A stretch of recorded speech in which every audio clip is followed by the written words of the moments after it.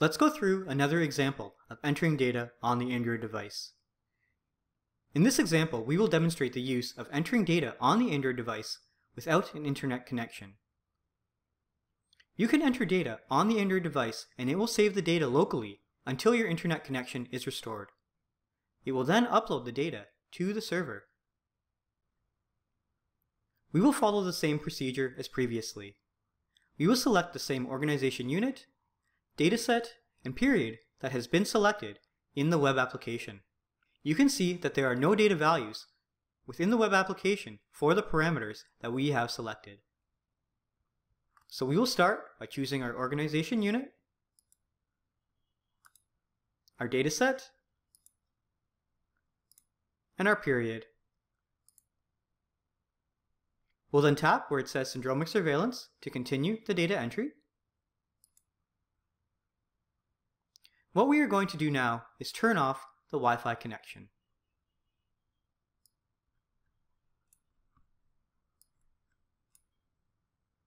We'll just tap on the wireless connection on the Android device. This will turn the internet connection off on the phone, just to simulate a loss of connectivity.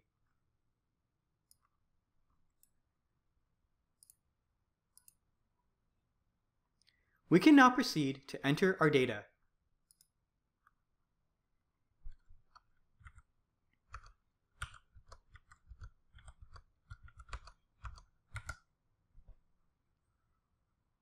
After we've entered our data, we'll tap on Save. Notice in this case, there is no notification that indicates the data has been sent to DHIS2.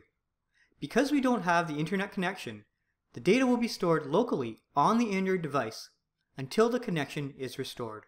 One thing to be very mindful of when we're doing this type of data entry offline on the Android device is not to log out of the device. If I go to the menu, you can see that I can log out.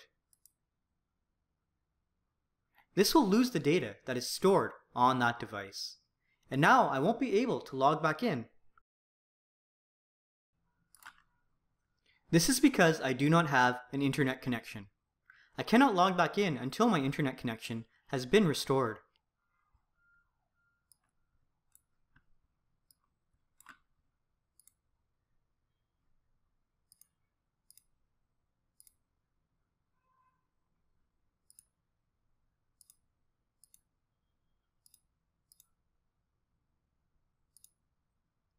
If I select the parameters that I selected earlier, we can see that there is actually no data available, even though I had entered data previously. This is because I logged out of the application, and all those values that were stored on the device were lost. We need to make sure that if we're doing offline data entry, we do not log out of the application. So let's just turn off the wireless connection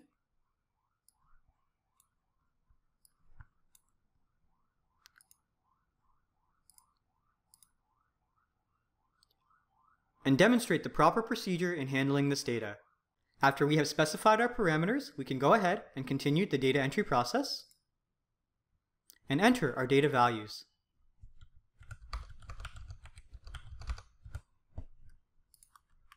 If we click on Save, it will save the values locally to the Android device as long as we do not log out of the application. Note that we can still use other apps on our Android device. Switching apps does not mean we have logged out of the DHIS2 application.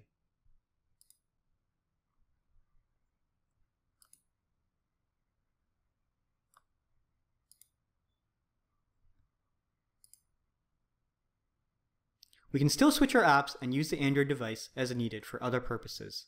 Just make sure you do not log out of the app. You can see that when we're offline, we can choose different periods, and different organization units and continue to enter our data.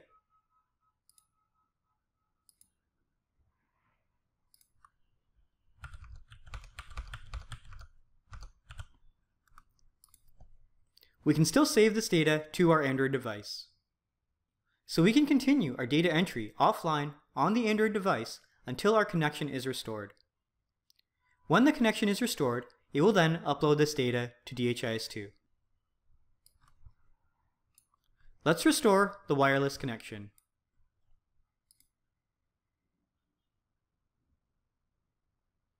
After I restore the connection, we can see that there are notifications indicating that the import process has been completed successfully. This is true for all the data that I entered on the Android device, both for Maize District Hospital as well as Yam Health Center. We can go ahead and verify this through the web application. Like before, we'll just reload the web application. We'll select our dataset combination along with the period. You can see here that those values have now been uploaded to DHIS2.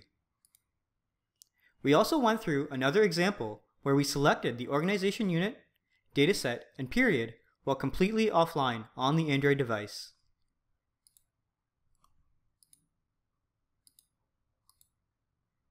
That was for the Yam Health Center Organization Unit, the Syndromic Surveillance Dataset, and week 43 of 2016.